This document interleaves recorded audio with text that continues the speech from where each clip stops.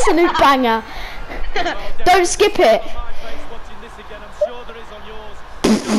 Alan has scored two long range shots for me. That is brill.